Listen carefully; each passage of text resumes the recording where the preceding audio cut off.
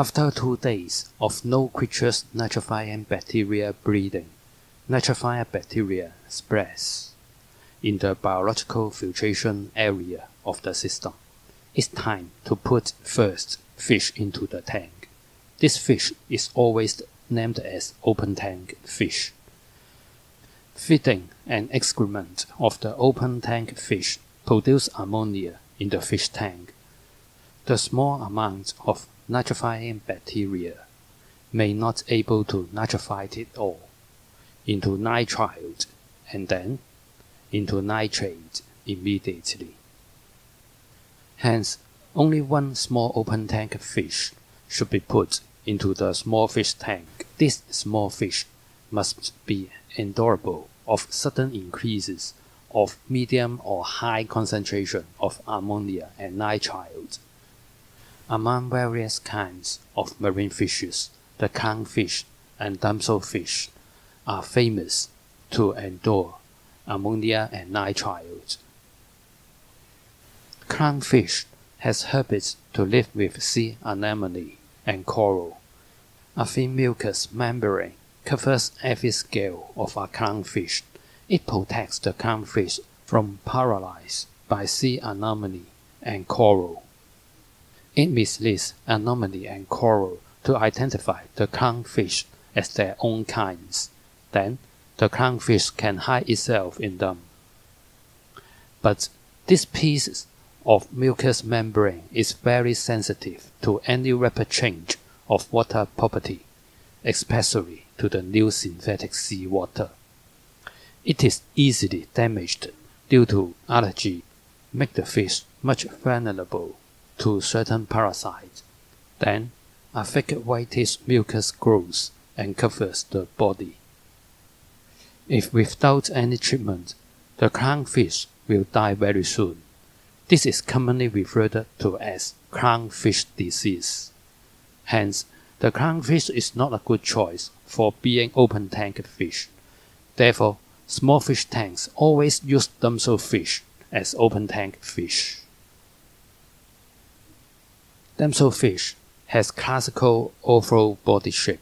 Mouth shape is like arrowhead. Scales are obviously seen. Many species mature size are in 6 to 8 cm long. Few species may grow up to 30 cm long. Well, don't worry about the size now. Almost all coral fishes will self-adjust its body size according to the living area space. Damselfishes have many colors, strip patterns, and different color combinations. Most of them are sold at low price. Coral fishes have domain conscience. They intend to drive same species fishes away from their own territory for protecting their own living and hunting area. Few species are quite strong with such conscience. They will attack any fish crossing over their territory border. Some individual may be bold enough to drive shrimps, crabs, or even large fishes away. Damselfish is a kind of these fishes. They are very adaptable. They are endurable in poor water quality. They are fearless, aggressive to snatch food. Hence, damselfish has a nickname, Little Devil. For the same species of Little Devil, do not put more than one in a small fish tank. Among so many Little Devil species, Chromis is the only tame kind. Chromis are used to live together to boost morale. Therefore, they may consider to live with other fishes in a small fish tank. It may keep two chromis. They live together peacefully.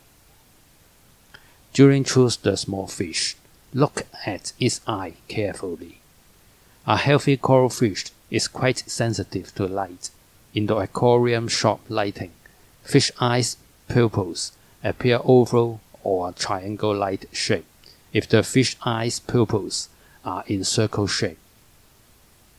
The fish may be in poor health status. In addition, You may swing your hand few times upper the water surface to pretend feeding. Healthy fishes have appetite in the aquarium shop. They would look toward the water surface to find any sinking food instead of scare and escape. Look at the fish body for any milky pork pong or white dot. This is the symptom of parasitic diseases. Different fish tanks have different water properties. New fishes shipments arrive aquarium shops periodically. Some fishes may sick. Some medicines and parasite eggs stay in the water inescapably. Hence, when you take the fish from the shop to home, do not pour the fish bath water and the fish into your fish tank immediately. Rapid water change is hazardous to the new fish's health.